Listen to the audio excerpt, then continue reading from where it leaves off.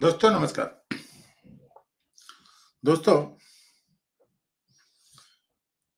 जो लोग मुंबई में रहते हैं या मुंबई से बाहर रहते हैं और मुंबई में काम करते हैं,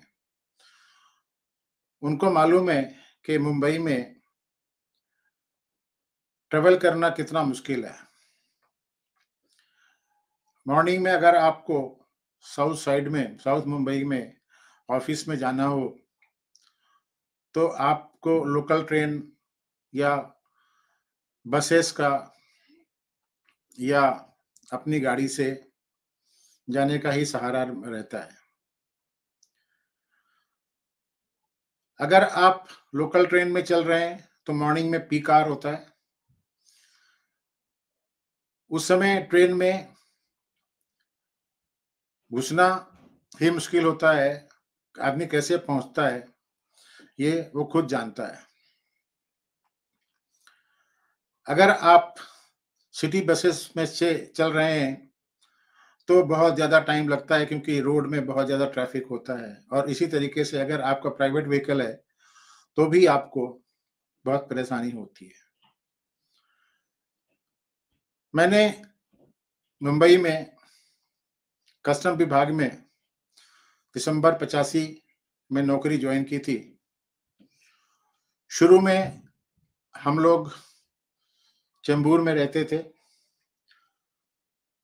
चेंबूर से मॉर्निंग में लोकल ट्रेन में यात्रा करके ऑफ़िस पहुँचते थे। उसके बाद भांडुप में ट्रांजिट अकोमोडेशन मिल गया। वहाँ से मॉर्निंग में ट्रेन में ट्रेन से ही यात्रा करते थे। बाद में एयरपोर्ट की पोस्टिंग हो गई। तो एयरपोर्ट के लिए स्टाफ बस हमारी कॉलोनी के बाहर आती थी, उससे जाया करते थे। वो बस वाया तिलक ब्रिज, दादर वाला तिलक ब्रिज, उसके बाद शिवसेना भवन माहिम होते हुए गति थी। बाद में वो बांद्रा के बाद फिर हाईवे पकड़ करके एयरपोर्ट के अंदर घुसती थी। कभी कभी वो बस कलीना होकर के भी आया करती थी। अगर बस छूट जाती थी तो टैक्सी से जाना पड़ता था। ये मैं बात बता रहा हूँ छियासी से अट्ठासी तक की। अट्ठासी के बाद जब फिर से कस्टम हाउस में पोस्टिंग हो गई तो या तो स्कूटर से, नहीं तो ट्रेन से ड्यूटी करने जाया करते थे। उस समय वडाला रेलवे स्टेशन से ट्रेन पकड़ते थे और बाद में जाकर के वीटी में उतरते थे। उस समय लोकल स्टेशन का नाम वीटी हुआ करता था, बाद में उसको सीएसटी किया गया, छत्रपति शिवाजी टर्मिनस।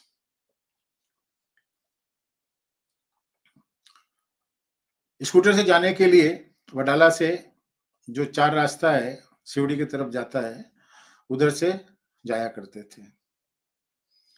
नब्बे में दोबारा फिर से एयरपोर्ट की पोस्टिंग हो गई। फिर वही बस या फिर टैक्सियों का सहारा लेना पड़ता था।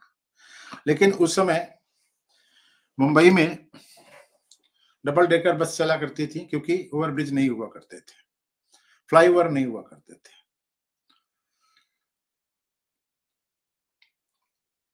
95 में 90 से 92 तक एयरपोर्ट पे ड्यूटी रही। उसके बाद फिर कस्टम हाउस कार्गो कॉम्प्लेक्स यही ड्यूटी करते रहे। 95 में शिवसेना की गवर्नमेंट आई और नितिन गडकरी पीडब्ल्यूडी मिनिस्टर बने। उन्होंने पहला काम तो किया मुंबई से पूना के लिए नया एक्सप्रेसवे बनाया। इसलिए मुंबई से पूना जाना आसान हो गया। इसके अलावा उन्होंने मुंबई में काफ़ी फ्लाईओवर बनाने शुरू किए। और आज की तारीख में मुंबई के अंदर जे जे फ्लाई ओवर लाल बाग वाला फ्लाई ओवर उसके बाद दादर का फ्लाई ओवर उसके बाद साइन का फ्लाई ओवर ऐसा इधर से बनाया गया तो आना जाना थोड़ा आसान हो गया 2006 में मेरी पोस्टिंग नवा शेवा हुई। उस समय नवा शेवा जाने के लिए या तो आप अपनी गाड़ी से जाइए, खुद चलाइए। डेढ़ घंटे या दो घंटे की ड्राइव होती थी, आदमी कमर टूट जाती थी। और दूसरा रास्ता ये था कि आप वडाला से ट्रेन पकड़िए और बेलापुर उतरिए। बेलापुर से जो एसटी की बस चलती है उड़न के लिए, उसमें बैठिए और फिर जाकर के आप नवा शेवा पहुँच सकते थे। वो भी एक कोई जगह थी जहाँ से वो बस मुड़ जाती थी और उड़न की तरफ़ चली जाती थी। आज की डेट में मुझे उस जगह का ध्यान नहीं आ रहा। कुछ फाटा बोला करते थे उसको। उड़न फाटा बोला करते थे। हाँ उड़न फाटा, यस, ऐसा कुछ था।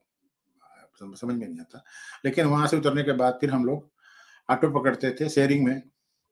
पाँच रुपए वो लिया करता था और उसके बाद हम नवा शेवा कस्टम हाउस पहुँचते थे। दूसरा तरीका एक और भी था कि आप जुई नगर उतरिए जुई नगर से बाहर निकलिए, वहाँ पर शेयरिंग में जीप मिलती थी, उसमें बैठिए और फिर आपको वो नवा शेवा कस्टम हाउस पहुँचा दिया करता था। दो साल ऐसे ही गुजारे। तीसरा एक रास्ता और हुआ करता था कि आप गेट ऑफ़ इंडिया जाइए। वहाँ से नवा सेवा जेएनपीटी के लिए लॉन्च हुआ करते थे। कस्टम वालों के लिए वो फ्री हुआ करता था। उसमें बैठिए और वो नवा सेवा आपको पहुँचा दिया करता था। तभी भी उसमें करीब एक घंटे लगते थे। बारिश के दिनों में वो लॉन्च बहुचा धक्का से चलता था। तो आप अगर कहीं भी रहते हैं तो आपको पहले डाकयार्ड रोड पे उतरना पड़ेगा। उसके बाद वहाँ से आपको बस से पहले भौचा धक्का जाना पड़ेगा या टैक्सी से भौचा धक्का जाना पड़ेगा। फिर वहाँ से आप लॉन्च पकड़िए।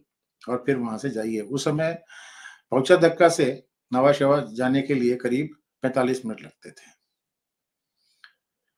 तो ये तमाशा हुआ करता था। मतलब अगर आपको 10 बजे या साढ़े नौ बजे ड्यूटी में नवा शेवा पहुँचना है तो आप घर से कम से कम सात बजे, सवा सात बजे, साढ़े सात बजे निकलिए, तब जाके आप वहाँ पे आराम से पहुँच सकते थे। कुछ लोग ऐसे हुआ करते थे जो पूलिंग करके प्राइवेट गाड़ियाँ इंगेज कर लिया करते थे और उसे जाया करते थे, शाम को उसी से आया करते थे। शाम को छह बजे जब ऑफ़िस बंद होता था तो घर आते जाते उस समय आठ बज जाते थे। बसेज भी होती थी। बस आपको काउंट के बाहर से मिलती थी, जाइए टाइम से उसको पकड़िए और वो फिर आपको नवा सेवा पहुँचा दिया करती थी। उस समय काफ़ी ऑफिसर लोग नवा सेवा की पोस्टिंग अवॉइड करते थे, क्योंकि आने जाने का टाइम बहुत खराब होता करीब पाँच घंटे बर्बाद हुआ करते थे। मतलब आप साढ़े नौ बजे से लेकर के छह बजे तक ड्यूटी करिए, यानी कि साढ़े आठ घंटे, और उसके बाद साढ़े सात घंटे, और उसके बाद में चार घंटे आप ट्रेवलिंग में करिए तो ग्यारह बारह घंटे तो आपके वैसे निकल जाते थे।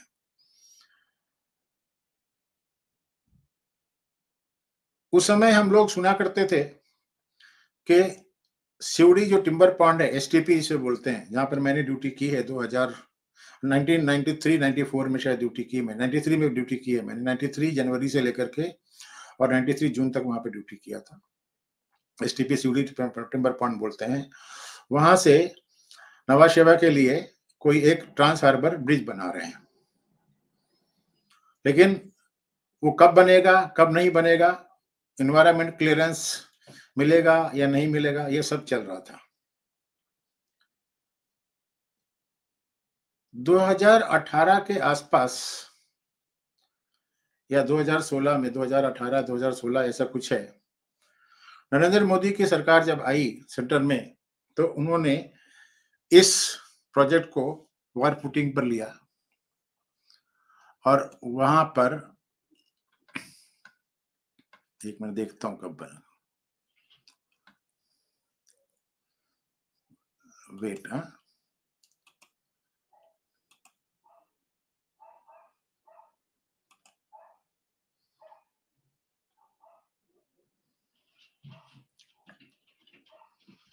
हाँ 2016 में 24 दिसंबर को मोदी साहब ने वहाँ पर इस ब्रिज का शिलान्यास किया था। और कल, यानी कि 12 तारीख को 12 जनवरी 2024 को, उसका उन्होंने उद्घाटन किया है। ये ब्रिज साढ़े सोलह किलोमीटर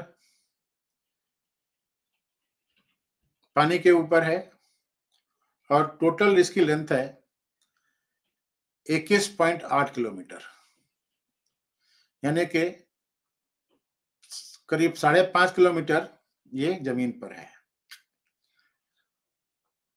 इसको जाने के लिए अगर मुंबई से आप जाना चाहते हैं तो आप फ्री वे में पहले चढ़िए और उसके बाद वहाँ से एक रास्ता जाता है, वहाँ से आप ट्रांस हार्बर ब्रिज के ऊपर से जा सकते हैं।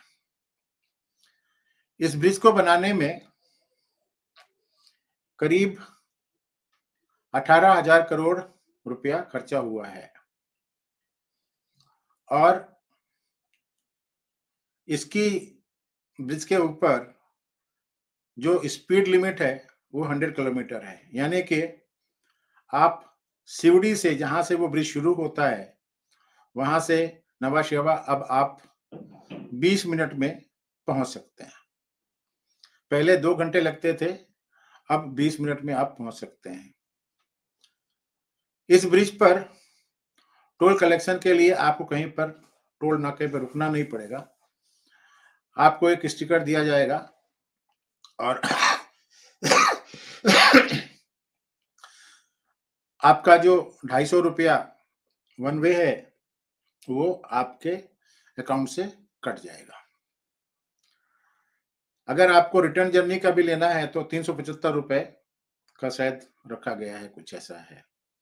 अगर आप साल भर महीने भर का आप लेना चाहते हैं तो आपको साढ़े बारह हज़ार रुपए देने पड़ेंगे। ऐसा कुछ है। इस ब्रिज की वजह से मुंबई से नवा शेवा जाने वालों को मुंबई से जो नई मुंबई में इंटरनेशनल एयरपोर्ट बन रहा है, वहाँ जाने वालों को, पूना जाने वालों को, गोवा जाने वालों को और साउथ इंडिया जाने वालों को काफ़ी सुविधा होगी।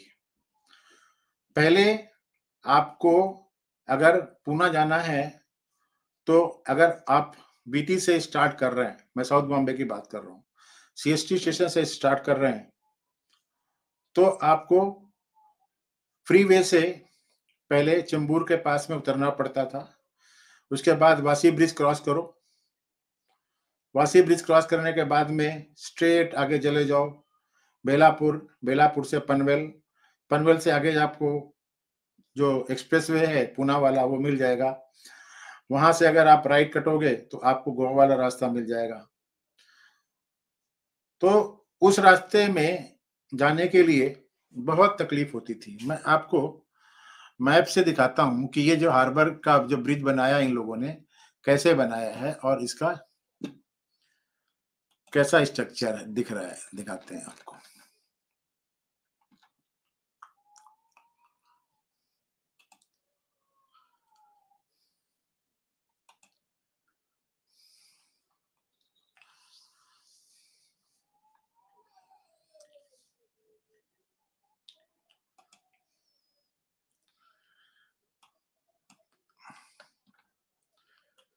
ये देखिए। ये है सिवरी पॉन्ड टिम्बर पॉन्ड, जहाँ से ये शुरू हो रहा है। ये बिगनिंग है इसकी, यहाँ से शुरू हो रहा है और इसका अगर मैं बड़ा करूँ तो आपको समझ में आएगा। ये देखिए, ये फ्री वे है ईस्टर्न फ्री वे जो प्रिंसेस डॉक पीडीमेलो रोड के पास में से शुरू होता है। अगर आप बंबई से आ रहे हैं तो आपको ऐसे आना पड़ेगा। देखिए, ये है, यहाँ से शुरू हो रहा है। ये पीडीमेलो रोड है। पीडीमेलो रोड से आपको ऊपर चढ़ना पड़ेगा और ये आप चले जाइए ऐसा पूरा। सिवड़ी आ गया। अब यहाँ से इन्होंने क्या किया है? डाइवर्जन दिया है राइट के लिए। ये देखिए, राइट में डाइवर्जन हुआ और ये फिर ट्रांस हार्बर चालू हो गया। अब ये चालू हो गया, यहाँ पर मैंग्रो है मैंग्रो पार्क है, यहाँ पर काफ़ी विदेशी चिड़िया भी आती हैं। अब ये ब्रिज यहाँ से शुरू हो रहा है, अब देखिए ये क्या जो रहा है, देखिए। ये ये ये, यहाँ पे क्या है देखो। ये ट्रॉम्बे है, टाटा पावर प्लांट वहाँ पर है। उसके बाद से निकल रहा है। इधर ये एलिफेंटा केव है, ये एलिफेंटा केव है, एलिफेंटा केव है। उसके बाद यहाँ से ये जा रहा है, देखिए। अब ये यहाँ पर आके लैंड हो रहा है। कौन सा है ये देखिए? यहाँ पर आकर के लैंड हो गया ये। ये चिरने गाँव है यहाँ पर यहाँ पर आकर के ये लैंड हुआ, उसके बाद ये चला। ये देखो, चिरले गाँव है, यहाँ पर ये टोल है। इसके बाद ये आया और ये यहाँ पर खत्म हो रहा है। अब ये ये जो रोड है, इधर वाला, ये वाला जो रोड है, ये पूना की तरफ़ जाता है। तो आपको अब पनवेल की तरफ़ नहीं जाना पड़ेगा, आप सीधा इधर से जाइए और उसके बाद आपको जिधर भी जाना है, ये देखिए, पूरा रास्ता बना हुआ है। ये देखिए, पूरा रास्ता बना हुआ है। ये जैनपीटी रोड है, पूरा देखिए, यहाँ से निकल जा रहा है ऐसा है। तो ये इन्होंने बना दिया है। वहाँ से वापस अगर आना है, देखिए, वापस आने के लिए यहाँ से वापस आइए और फिर ये ट्रांसफ़र लिंक में आइए और यहाँ से आने के बाद ये देखिए, यहाँ से आप इधर चले जाइए, नहीं तो उधर चले जाइए। ये जो चेंबूर साइड से जो लोग बाग आ रहे हैं फ्रीवे से, वो यहाँ पे आकर के इधर से ज्वाइन कर सकते हैं। पहले हम लोग इधर से जाया करते थे। ये देखिए, ये रास्ता है पूरा, देखिए फ्रीवे और ये जाकर के चेंबूर में लैंड करता था देखिए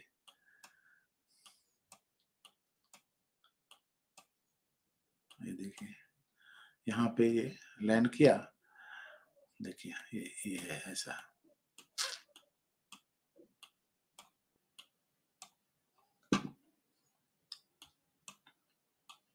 फिर ये उल्लास नदियों के जाया करता था ये, ऐसा हो जाता था। तो मोदी साहब ने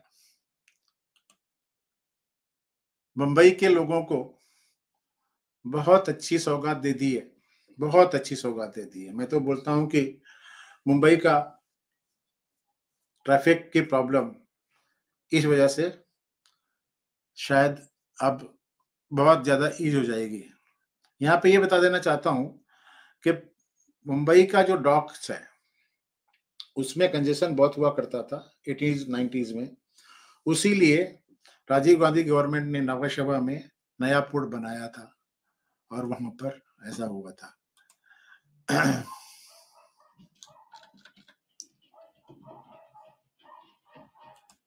अब मैं आपको बताता हूँ कि मोदी साहब ने बोला क्या। जब ये भाषण हुआ तो मोदी साहब ने क्या बोला थोड़ा सा उसके बारे में देख लेते हैं।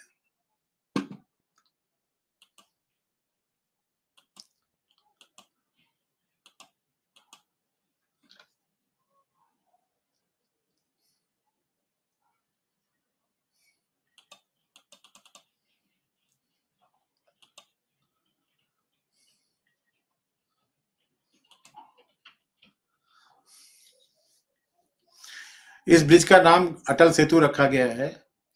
और मोदी साहब ने क्या बोला? उसके बारे में ये देखते हैं।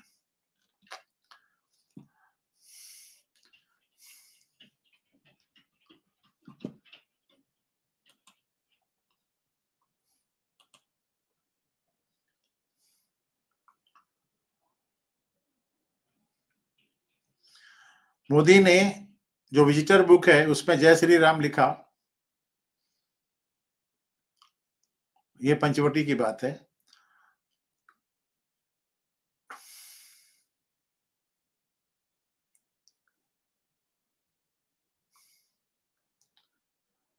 ये है देखिए दिखाता हूँ मैं आपको एक minute.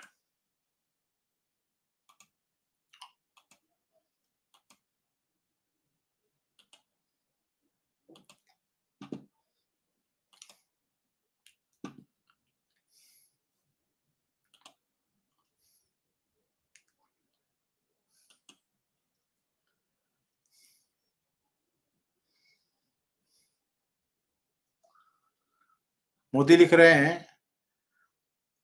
Prime minister Narendra Modi inspected the Atal Bihari Vajpayee Sewri Nhava Sheva Atal Setu in Maharashtra PM Modi inaugurated the bridge earlier today Atal Setu is the longest bridge in India and also the longest sea bridge in the country it will provide faster connectivity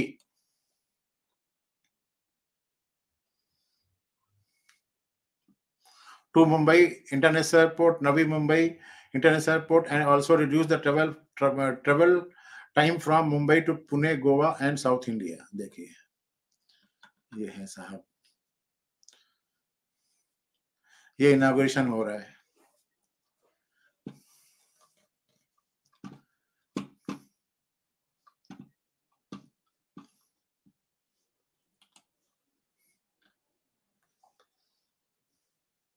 और देखते हैं थोड़ा कुछ मिलता है तो दिखाते हैं आपको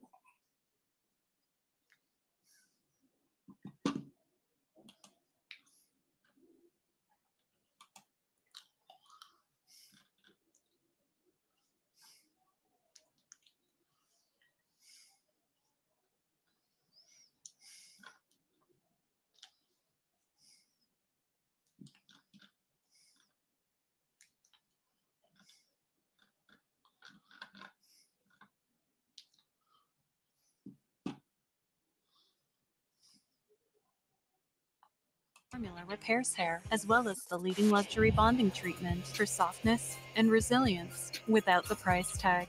If you know, you know it's Pantene. Stunning uh, visual there of the longest sea bridge being inaugurated by the Prime Minister there. But let's just take you through some of the main points of uh, this uh, sea bridge and how it will reduce uh, commute time uh, for people in Mumbai. So, of course, uh, this the starting point is Sewri and it goes to Chirle in Mumbai. And it reduces the commute time significantly for people. in fact, right now, it takes uh, over two hours uh, for somebody to reach uh, you know mumbai uh, from Navi Mumbai, but that travel time will be reduced significantly down to 20 minutes. So that is, of course, being seen as one of the major uh, sort of advantages of this new sea bridge. In fact, the original route was uh, 38 kilometers. You know, a passage of 38 kilometers had to be traversed by commuters, and it took um, you know close to two hours to reach from Sewri to uh, and 61 minutes to reach Navi Mumbai from Mumbai. But now it will take only uh, 20 minutes. So that is of course uh, the big advantage. But also uh, Vasudha, remember that this is in a sense a huge boost to connectivity at large. It changes the landscape of mumbai because it has all the major points uh, in the vicinity. You have varli you have the mumbai port you have kolaba you have the upcoming uh, international airport in navi mumbai you have the jawaharlal nehru port uh, so, of course, these uh, uh, points are extremely important for commuters as well. You, you can expect a, a boom in the real estate sector as well, given the fact that now townships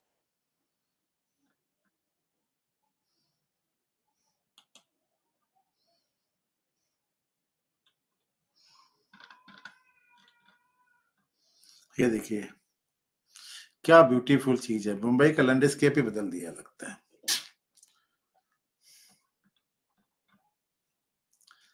और दिखाता हूँ आपको कुछ। अगर मिलता है तो video दिखाते हैं, इसमें वीडियो थोड़ा देखते हैं और कुछ अगर है।